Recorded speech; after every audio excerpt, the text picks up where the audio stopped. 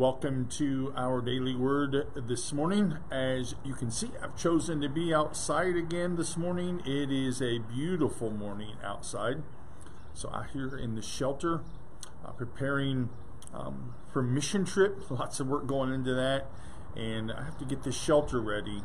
Um, get these tables pulled off to the side so that we can have worship here on Sunday morning. So, I hope you plan to join us as we worship outside. Dress casually, bring your lawn chairs, bring what's comfortable, and we'll worship here in the shelter um, on Sunday morning. Also, I'm working on Father's Day pictures, so if you haven't sent me any pictures for Father's Day, um, please do that. Text them, email them, and I'll get them included in our Father's Day slideshow.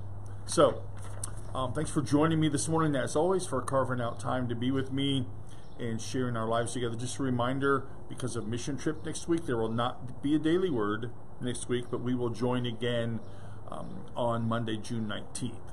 So today is daily word number 735, Isaiah 30, verse 21. Whether you turn to the right or to the left, your ears will hear a voice behind you saying, This is the way walk in it. So, in this scripture, Isaiah is prophesying to the remnant of the people that are left in Israel. And he tells them that God will be with them. More than that, he tells them that God is with them. He says to them that their leaders will be empowered as servants of God and he tells them this extraordinary truth that I think we probably um, fail to hear sometimes, but need to hear as well. No matter where you go, the presence of God is transcendent, it's always with us.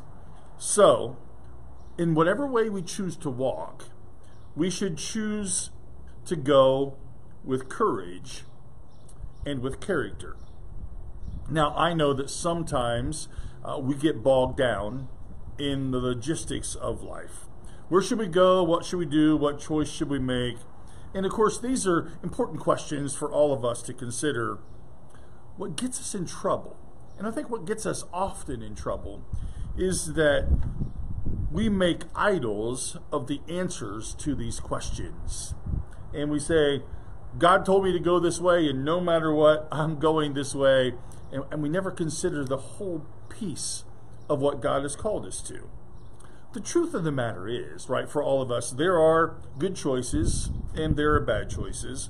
There are things in life we ought to avoid, we ought to turn from and go the other way. But often in life, in my life, and in probably yours, there are an array of choices before us that are two good options. You simply have to choose. 34 years ago, Diana and I were just talking about this. 34 years ago, um, before we moved to Sydney, I had an offer of a job in Sydney.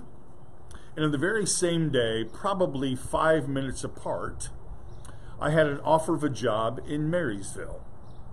Two excellent jobs, two excellent opportunities, two excellent chances to make a difference. Um, two excellent chances to live in really good places and in really good communities.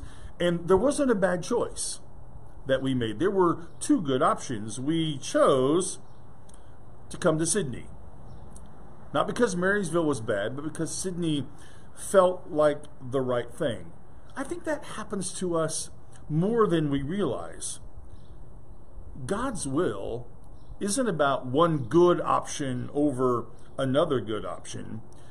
God's will for us is that we will choose and then walk faithfully in that choice. But when we make an idol of, of our answers, you know, then we sometimes miss the point of what God's calling us to. Then it gets it gets out of order. When we decide, you know, to be people of peace and love and joy and hope and faith, circumstances then lead us to the decision to live out what God's calling us to. So God's saying, to the people of Israel, this remnant of people that are left. Whether you turn to the left or turn to the right, whether you live in Sydney or live in Marysville, as it was in the case for Diane and I, let your ears, your ears will hear a voice behind you saying, This is the way, walk in it. Wherever we go, whatever we decide, whatever good choice that we make, God is with us. Not only will God be with us, but God is with us. Finding the right way, you know, in life isn't a matter of logistics. It's a matter really of recognizing where we are and who God is calling us to be. When we acknowledge God, when we worship God, when we follow in God's ways, we discover that the right way isn't about where we go, but who we trust. And that trust is in God. And so, you know, for us as we live our lives, as we share them together, you know, when we get ready to go on mission trip, I was sharing this conversation about mission trip with our conference minister on Sunday at lunch. Asked me where we were going and, and how we chose to go there. And I said, well, the first year uh, we went there because I had gone to another place um, on a fast, faithful advocates serving together mission trip, which was for a few years a combination of United Church of Christ Disciples of Christ uh, mission trips. And it came up again, so we said, well, let's go here for our very first mission trip. There were other places, there were other options, places we could have went that I was familiar with, but we chose to go to Deer Lodge, a couple, out of a couple of good options. What we found there was this amazing community of people.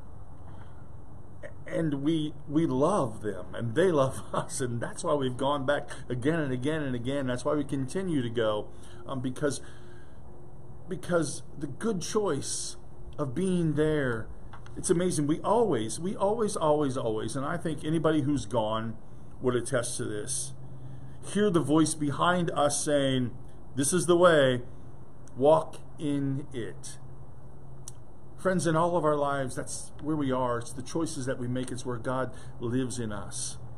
So whether we turn to the left or the right, your ears will hear a voice behind you saying, This is the way, walk in it. God will be with us, and God is with us. And that's such good news as we live our lives and as we go about doing all the things that God has called us to do. So, thanks for being with me again this morning out in the shelter. Thanks for sharing um, your time with me this morning and saying good morning. I'm always grateful for it. So, I will see you tomorrow morning at 10 o'clock. Know of God's love that surrounds you. Know of my love for you. Have a great day, my friends.